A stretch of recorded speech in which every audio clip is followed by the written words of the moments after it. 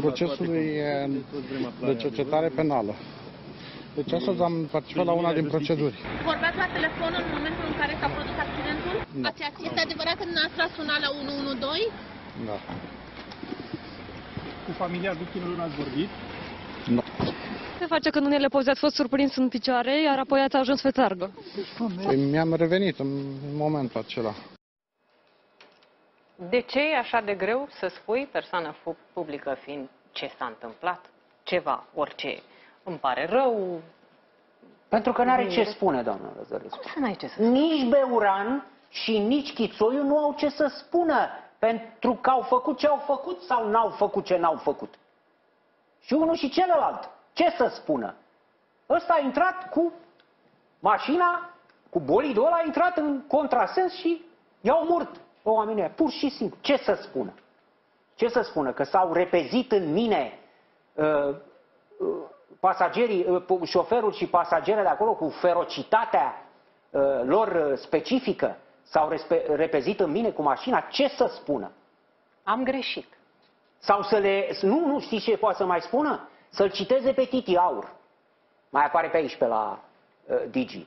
Să-l citeze pe Titi Aur. Domnule, dacă n-a tras de volan în dreapta, eu ce Dar să-i acum fac? l-ați certat degeaba pe Titi Aur. De Ce spune ce? Titi Aur? Nu lua apărarea. Poftim? Nu-i lua apărarea ministrului, dar spune așa. Nu mai poți în ziua de astăzi să conduci având grijă doar de cum conduci tu. Dacă nu te uiți și la celălalt, vine ăla care stă pe telefon, că nu viteza omoară, după cum ne place să spunem. Ne, vi- omoară mașinile în care stăm și vorbim la telefon, că ne-am obișnuit cu cei 5 km pe oră pe care îi facem în oraș. Trebuie să fii atent la celălalt, chit că asta înseamnă să ieși tu de pe șosea. Asta e, asta e teorie de academie. Academia Titi Aur, unde să mergem cât mai mulți. Foarte bine. Ați uh, fost vreodată în situație... Sunteți conducător auto? Da. Ați fost vreodată în situația de contrasens? Nu. Nu, eu am fost. Știți cum e? Și aici e problema. Domnul Titi Aur e șofer, mare șofer de raliuri. Nu? Campion. E adevărat că la raliuri nu-ți vine nimic din față. Acolo alergi Corect. doar cu cei din spate, nu, nu-ți vine nimic din față, de eventual din lateral. E drum liber. Dar domnul Titi Aur ar trebui să știe ce înseamnă un contrasens. Ce sfaturi să dai?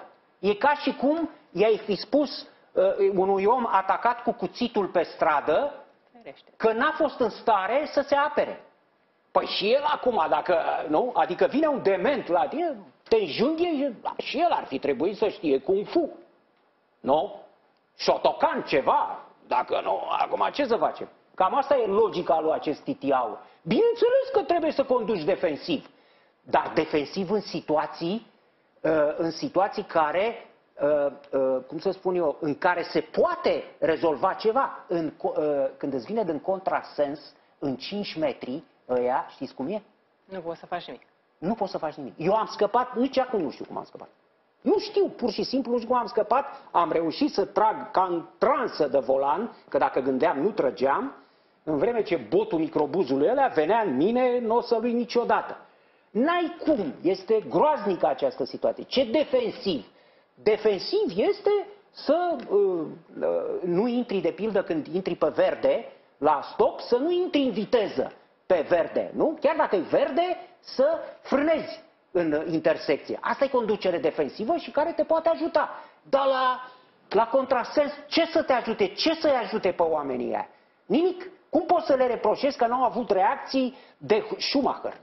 Nu era un reproș. Omul s-a uitat ca un chirurg. Trebuia să tacă ca din un gură. chirurg la citat. L-am întrebat, n-avea cum să tacă. Dacă tot l-am întrebat, trebuia să spună ceva. Păi dar pieton. nici nu știa ce a fost acolo, a fost el la fața locului. N-a acolo, fost pieton. Păi n-a fost. Cum putea să comenteze în condițiile astea, ca șofer profesionist? Cum să comentezi și practic să-l învinovățești pe uh, conducătorul auto care a murit, care a fost ucis de către Chițoiu. Și în felul ăsta să-i dai lui Chițoiu uh, un cât de cât argument, adică, domne, și ăla n-a tras argument pentru cretin, pentru mai mulți antropoide, că n-a tras omul în dreapta. Deci, uh, Chițoiu, Chițoiu, eu aș vrea să știu de ce nu nimeni nu se sesizează organele în, uh, îndrituite, adică uh, nu știu, DNA, DICOT, poliție. Acest stins era pe picioare liniștit, de pe picioare, acolo, plimbându-se în jurul mașinii, s-a suit, s-a întins pe targă. Așa. Pe targă era bine mersi. Când l-au întrebat la, în poarta spitalului jurnaliștii, cum vă simțiți? Pe targă. Pe targă. Așa a răspuns. Pe targă. N-a spus, domne, mă doare, am ceva. Omul era liniștit, ca un lac japonez, stătea acolo pe targă. Intră în spital și acolo ne spune cine? Personalul medical, mari medici, luminile lumii din spitalul Floreasca ne spun că are fractură de stern și trei coaste rupte. Din nou vă întreb, ați avut vreodată o coastă ruptă? Nu am scăpat. Nu. Am avut eu una, nu trei, una fisurată, nu ruptă, fisurată. Știți ce durere? Deci, în primul rând că nu poți să respiri. Ah, Din pricina... logic, aș zice. Da, nu, nu poți să respiri din, din pricina fisurii. Dar, uite, trei coaste rupte care pot să-ți intre în plămâni. Fractură de stern. Păi ar fi trebuit să stea nu știu câte zile în spital și să iasă de acolo cu corset de gips. La fractura de stern e una Care e dintre aici, cele poate mai nu știe nimeni unde este. grave. E pe aici, de exemplu. Da, aici este sternul, da. În capul pieptului, osul stern. Uh, și a fost ținut la reanimare. La reanimare când el era, când a intrat în spital, cum Pe vă targă. simțiți? Pe targă. Pe targă. Și a fost ținut la... De ce nu investigează nimeni? De ce nu este dus la o, uh, un aparat, la o radiografie, la o tomografie, bineînțeles nu la Floreasca, în altă parte, cu poliția lângă el, să vedem și noi cum arată tomografia aia. domnule. Unde e sternul ăla rupt și coastele respective? Nu? Adică își pot permite ăștia, din, medicii ăștia din spitalul Floreasca, așa să ne arunce în față uh, gogoși Dar și de atunci felul nu-i ăsta? mai, nu mai credem niciodată atunci pe medici când se duce cineva la spital și spune mă, l-ai văzut tu pe picioare. Dar ca orice accident uh, pe lumea asta, nu poți să știi organul intern ce-o fi pățit. Știți? Păi, dar nu mi-a spus nimeni de organ intern. Eh, Ce au spus ei a fost vorba de oase rupte. Că dacă îmi spuneau că a avut, eh, eu știu, splina ruptă sau, nu știu, un șoc cardiogen sau interior, ok, asta putem discuta. Dar ei au ales să-mi spună că ea a avut fractură de stern. Așa ceva nu eh, poate să arate cum arăta acest eh, chițoiu. Și asta pot să spună un medic, nu eu. Un medic cinstit. Da. Și De- încă ceva. Spune. Cu, uh, asta e o chestie generală. Ați văzut nenumărate cazuri de oameni omorâți în felul ăsta de către inși care au folosit mașina ca instrument de omucidere, pur și simplu. Și respectivii n-au făcut o zi de pușcărie. Cum? Uh, Nu va face și uh, manevrează în direcția asta, de la bun început a manevrat în direcția asta acest chițoiu. Da? Pe ce se bazează el aici? De-aia nu vorbește. Pe suspendare.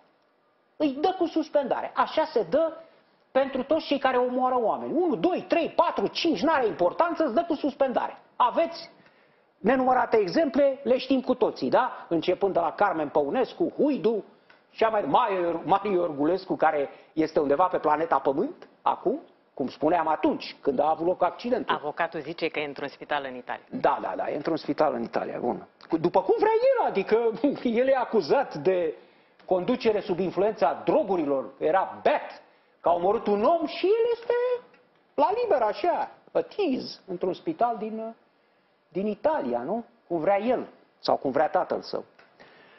Uh, Deci, cum e posibil să existe legea asta, nu?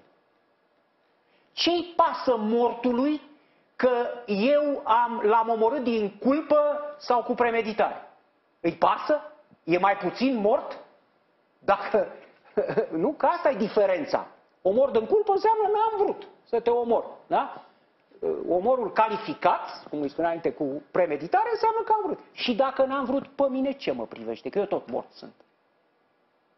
Tot crimă ai comis. Ai comis o crimă.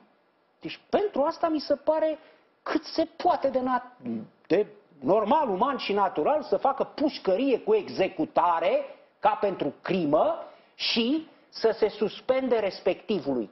Cel care produce un accident cu morți și răniți, să îi se suspende carnetul pe viață. Să nu mai aibă dreptul niciodată să conducă mașina.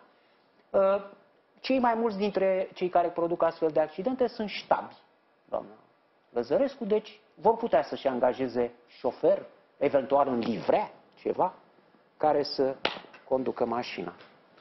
Vă propun uh, să ne uităm, pentru că tot te amintați de legi, la cine face legile și la cât de multe schimbări ne așteaptă anul acesta, inclusiv în opoziție. echipă. Eu cred că Marcel, Ciolacu și Ion este vulpoiul de care PSD are nevoie în fruntea PSD. Faptul că poate doar Ștefan Bănică Junior mai umplea sala în felul ăsta, arată că, deși nu trăim cele mai vesele zile ale Partidului Social Democrat, proba caracterului se dă în asemenea momente. Și